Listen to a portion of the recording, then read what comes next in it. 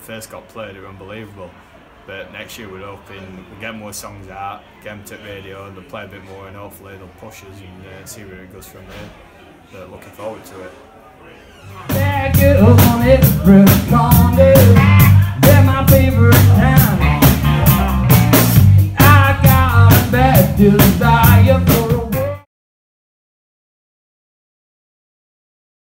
It's been good. Uh, enjoying it so far. Uh, crowd, crowd are enjoying it. We've just done one of his new songs. It went down well, which we weren't expecting. We were expecting it to be a bit ropey, but uh, yeah, it's been good so far. Had a good year.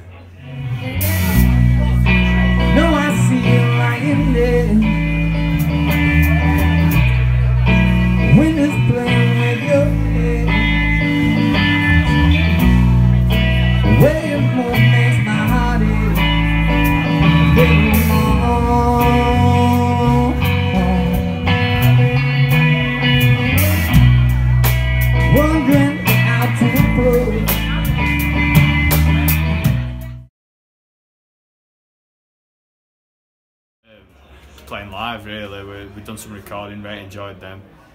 Uh, getting about there and folks seem to be engaging and enjoying it and just playing well. O2 were fantastic and hopefully more gigs like that in the future.